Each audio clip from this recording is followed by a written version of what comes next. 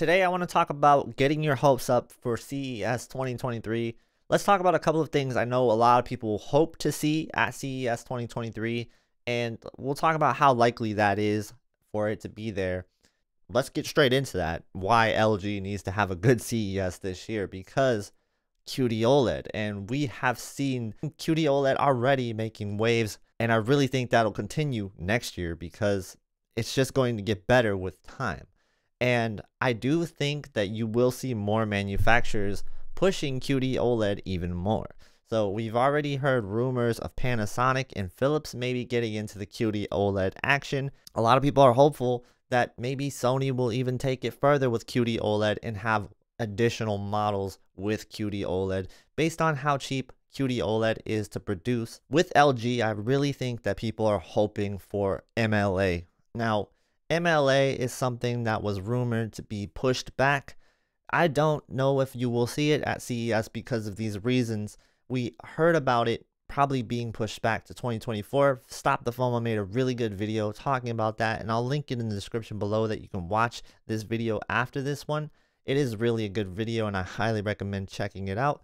But that said, there still is a very little chance that it can be at CES and it can be in 2023 models. It would be a shock, but it's certainly possible and I'm not going to rule it out. Now, if this is the case, then what can we really expect from MLA technology? Hold up, time out for a second. Let's talk about what MLA actually is. And for that, I'm going to point you guys to this Business Korea article talking about what it actually is. MLA stands for Micro Lens Array. It was also referred to as a Meta Lit Lens Array, but Micro Lens Array seems to be the one that they are sticking with right now, so that's what I'm going to go with. The new display is characterized by a fine convex lens array layer inside of an OLED panel. It's a very thin lens material that is deposited on an OLED panel. So MLA technology uses these micro lenses to bend the trajectory of light to improve the brightness efficiency, they say that when MLA technology is applied, the OLED luminance efficiency jumps up by more than 20%. They also say that the viewing angle is better as well. Now this next thing is the thing that people are latching onto the most with MLA, and that is the claim that it can get up to 2000 nits with the MLA technology applied. So that is MLA. Let's get back to the video. It really has to be able to compete with QD OLED and ultimately, if it doesn't end up doing that, then it would be a failed experiment. Now, the rumors of MLA is talking about it could maybe get to 2000 nits of peak brightness from an OLED TV. I'll be really shocked if it did that, to be honest with you. I'm expecting more along the lines of something close to what QD OLED can do.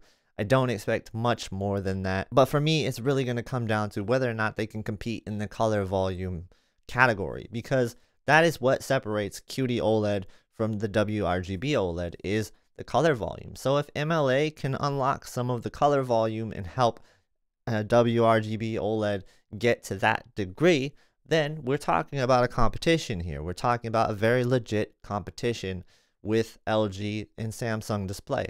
So these are two companies that kind of, you know, go back and forth. They don't like each other. They are rivals. But we got to pump our brakes a little bit because it is very unlikely to see this in 2023. Again, though, I would be surprised if it's there, but I'm not ruling anything out.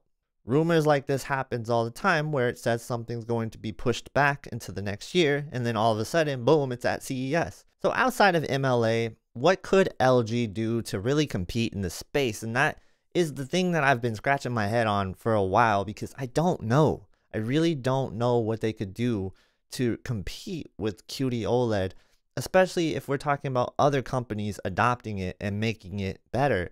So it's only going to be better in the second year. What can LG do to their OLEDs to make it compete with QD OLED?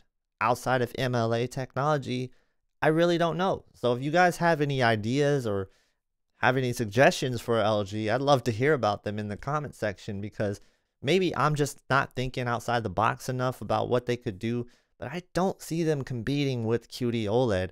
Now, I really hope I'm wrong, and I hope I am surprised by what LG brings to CES, but I'm gonna definitely temper my expectations on that, and I'll be shocked if anything pops up other than kind of a little bit better than last year.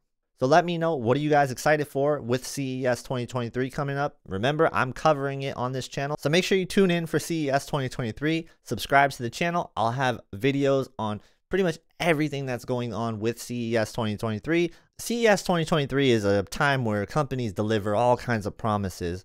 But if you want to see if companies actually delivered on that promise in 2022, check out this video right here.